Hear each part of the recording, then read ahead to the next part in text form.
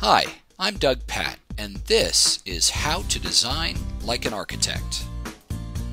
I thought the best way to talk about design would be to create a dream home for someone. But first, let's talk about the design process. An architect, like any design professional, draws on a wellspring of information. How we design is based to some extent on what we know.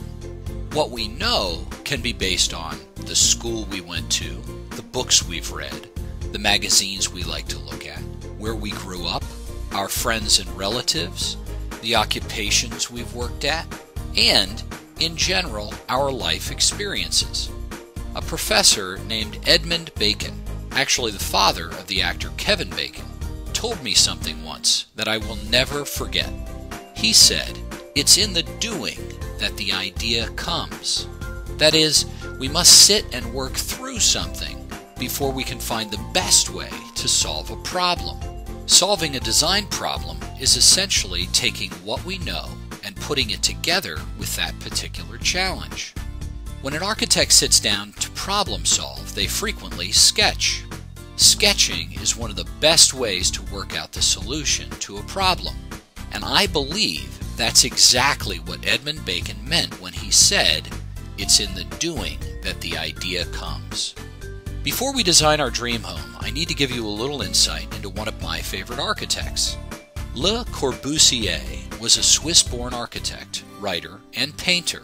He was well known as a modern architect and for his theories and approach to architecture.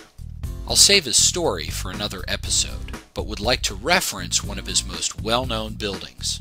The Unité de Habitation in Marseille, France, is a very modern looking, long, narrow apartment building that incorporates a number of Corbusier's design principles.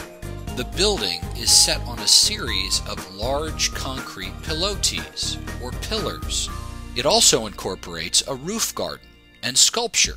It was Corbusier and his team's intention to create more suitable living accommodations for people who lived in congested cities. They did this by stacking narrow, two story apartments rather than spreading them out over the landscape, and providing the residents with a place of recreation on the roof. So, keep those things in mind as we look to design our dream home. This is Kelly. Kelly's dream home is a house on a cliff overlooking the ocean in California. She loves modern architecture. Now, for purposes of time constraint, I'm only going to design a small portion of the house, and I'm going to do it quickly. So, it goes without saying that any architect worth their salt should be using a lot more information and spend a lot more time problem solving than I'm sharing with you here. Now, I assumed the site was narrow because of the scarcity of buildable land in, say, Laguna Beach, California. In that case, I decided the home would be long and narrow, but tall. Every area has zoning ordinances, so that would probably affect the height of this building, but I'm going to ignore them for this exercise. The house will be essentially a four story window that points directly at the ocean view. Kelly wants to be a counselor, so we know there should be some kind of space dedicated to having discussions and being inspired. A cantilever deck is perfect for this, as is the four story view of the ocean. Now, an architect gets all kinds of useful information when interviewing a client for a job. Kelly's favorite building material is stainless steel, so I decided to clad the whole house with it. Kelly also told me that she had been born on an Indian reservation, so I added this conical shape to the roof. It's a reference to the traditional American Indian teepee. And there you have it. I put what I know together with the challenge of creating a dream home. Some of what I referenced was work by Le Corbusier.